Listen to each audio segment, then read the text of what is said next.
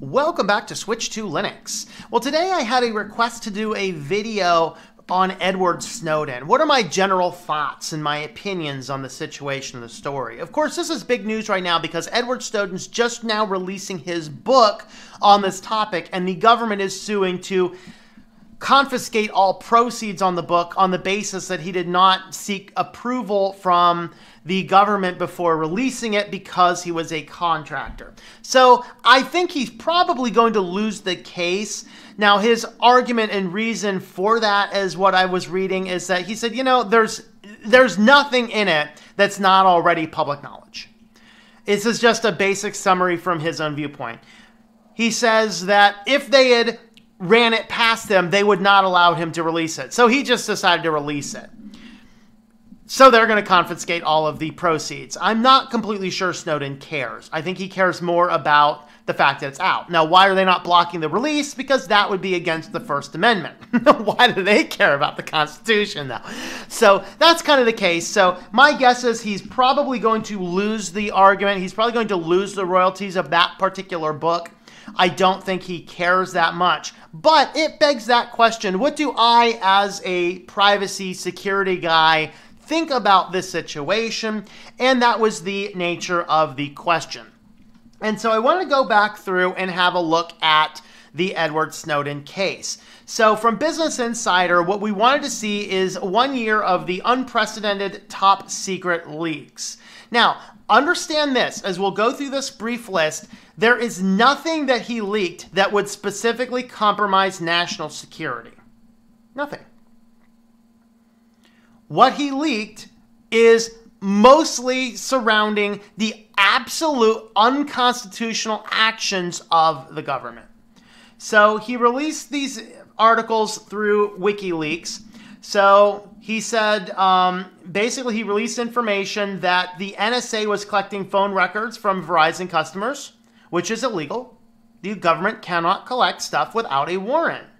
All right. They had a top secret court order, which was actually nothing more than a rubber stamp FISA court, which was never designed to do any of this type of stuff.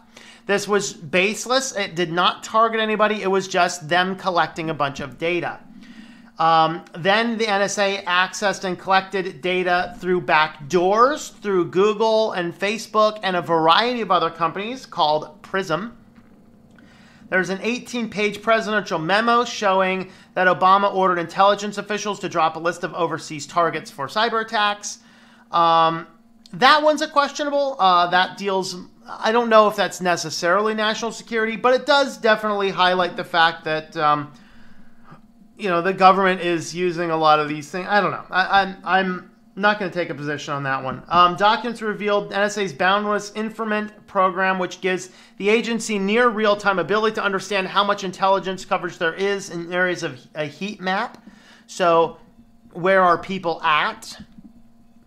NSA was hacking computers in Hong Kong, mainland China, very few of which were military systems, and we're all complaining about Huawei.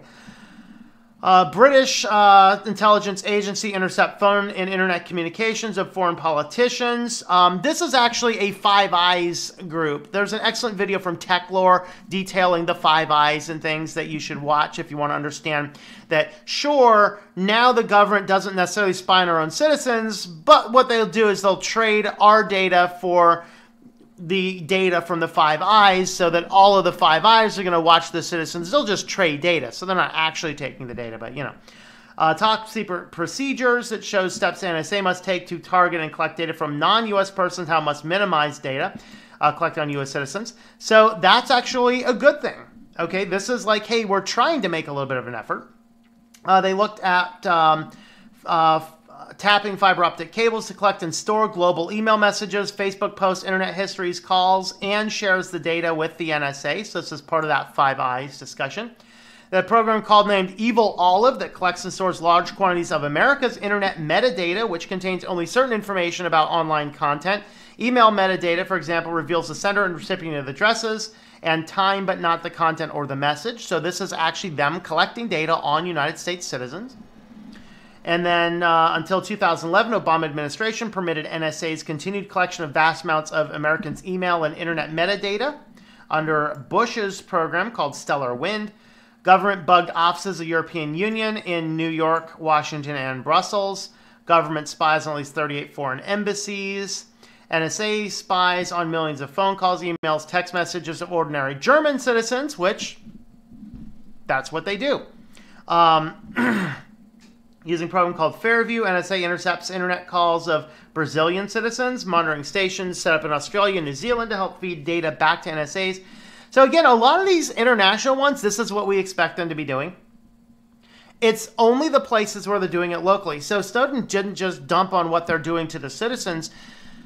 So in that respect, yeah, these are all things though that were all speculated. Okay, we can go through and I'll have these articles listed. These are all things that are speculated. People are saying, "Oh, that's just a conspiracy theory." Maybe I need to put on the "That's just a conspiracy theory." No, it's not. You know, and uh, Mr. AJ, their accent. The reality is though is that Snowden revealed actual constitutional violations of the government, and after these leaks came about, these surveillance programs were deemed by the courts to be illegal. So, what was going on back before these leaks had occurred is that a a court case came up and said that the government is collecting all of this data and then the people said well we, we kind of know what's happening but we really don't have evidence and they asked the government in federal court and they said we can neither confirm nor deny. And so the supreme court ruled that said that if this is really happening yes it is unconstitutional but we don't have any evidence that this is happening so we cannot make a ruling on it and the case was dismissed what Snowden did is he actually gave the real evidence that this was actually happened. So the case was reopened and deemed unconstitutional. So what he did is he exposed information that is unconstitutional. And the courts have actually deemed these surveillance programs to be unconstitutional. All right. So he basically gave us the solid facts, the solid evidence for what the conspiracy theorists were all saying was happening, but now we have the actual real evidence, and those are no longer conspiracies, but hmm, reality. So it makes you go, huh, maybe we should give a little bit of credence to crazy people who talk weird and talk about water and frogs.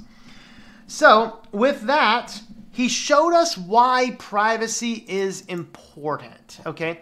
So, what he did is he gave us he gave us a first time a real reason why we should take privacy seriously. Now, do we all take privacy as seriously as we probably should? No, I don't think we do. But should we take privacy as seriously? We absolutely should.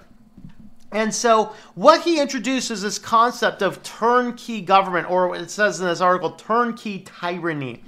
So, this turnkey government, what this means is that while our current government or our current companies or our current whatever collects all this data, and you say, well, I have nothing to hide, so I don't really care. The problem is, is this data is stored forever. And it's not necessarily a matter of is what you're doing wrong today, but is what you're doing going to be wrong when the next government takes over? In the next century, in the next decade. And the reality is, we are starting to see turnkey tyranny occur, not on the governmental level, on the social level. I mean, think back to, was it James Gunn, I believe, the director of the Guardians of the Galaxy movies, who did a phenomenal job on these? He was deleted for a tweet that he said 15 years ago. Now, some of these tweets that we're getting drugged up from the past and thrown out in front of us, some of these things are just, they're just, some of them were wrong. Some of them were culturally acceptable at the time, but 10 years later, we have this crazy culture where we've lost our ever loving minds and what ends up happening is now people are actually suffering real world consequences for things that were culturally acceptable 10 years ago. And that is turnkey tyranny on a social level. Well, what happens when all of this data and the, the government rules retroactively against, let's say, Christianity? I'm a Christian. The government retroactively says Christianity is now illegal. Now they can go back through the entire back history of me being online talking about Christianity for 15 years, and I don't have anything I can do about it. See, first they came for the trade unionists, and I was not a trade unionist, so I said nothing. And then they came for the black people. I was not a black person, so I said nothing. Then they came for the Jewish people. I was not a Jewish person, so I said nothing. Now they're coming for me, and there is no one left to speak for me. That was a roundabout version of the quote that I don't have it exactly memorized, popularized by Dietrich Bonhoeffer, who was a Christian in Nazi Germany who died for his faith because he stood up with a warning sign saying, Guys, this is bad. Okay, this is turnkey tyranny. That all of this data collection can retroactively later on be used against you, and that is why I'm doing my privacy series. That is why it is so important that we protect as much data as we can. This is why I do not want to send health data to the cloud. This is why I do not want to send all of my preferences to the cloud. This is why I do not want to store all my contact information on someone else's cloud because this actually occurs. He gave us reasons for this. All right. he, of course, has some famous quotes. One of his be- um, best ones uh, is looking, I had my thing out of order. Arguing you don't have a right to privacy because you have nothing to hide is no different than saying you don't care about free speech because you have nothing to say. Okay? Sometimes a scandal is not what law is broken, but what the law allows. These are just some quotes from him. Um, ultimately, though, the point of the matter is Edward Snowden gave us actual evidence for things that the government was doing was wrong. Now the Supreme Court has ruled that those things were wrong. What would happen if he just took his concerns to his superior? He would have disappeared into McGreedy's black bag and we would never have seen from him again. Okay? He would have disappeared. Nobody would have known the, the better. But he didn't. He instead decided to release the information, which information was used to retroactively say, yes, now we actually have evidence, yes, what you're doing is unconstitutional. And in theory, those programs have ended. Now, is Edward Snowden just running away and running away? No. From day one, he has offered to come back to the United States. He has one condition, and that is he wants to have a fair and open trial, which is his constitutional right as an American citizen. The things he exposed have already been demonstrated to be unconstitutional. The government has responded and said, if you come back, we promise not to torture you. Okay? The fact of the matter is, if he gets a fair public trial, which is his constitutional right, he will come back today. The government is refusing to give him his constitutional right. So, what do I think? What's my final thoughts? I think that Edward Snowden is a friend of the state. He has given us information that really woke up a lot of people to say, absolutely, absolutely, we have to take privacy seriously. It's not just, I'm not doing anything wrong, so I have nothing to hide. No. You may not be doing something wrong now, but what you're doing right now could be illegal in a decade from now, and then they'll come back for you. You don't want to say something on Twitter that is perfectly in alignment with modern reality to find that you lose your job 10 years later, or worse, you disappear. We have to take privacy seriously. We have to protect ourselves uh, from these companies because the companies give open access to the government for all this data. So I don't store any of my information on Google. I don't store anything on Facebook. I don't use these things as a private, personal person. Yes, I have some business social media stuff. If you want to follow there, that just tells you when I post a new video and I might throw an article up there that I find. Okay, but the fact of the matter is, I am not willing to give all of this data up to all of these companies. We lived perfectly fine in our society without connecting everything to the cloud, without connecting everything to the internet, and without giving all of this data to these companies. In my opinion, Edward Snowden is a hero. And I would ask the government to give him a fair public trial. He is willing to go to jail for what he released. That's fine. All he's saying is we need a public trial, and I can, he wants a jury of his peers to determine his guilt, and he will accept any consequence that comes from it. That's my thoughts on Edward Snowden. Let me know your thoughts in the comments down below.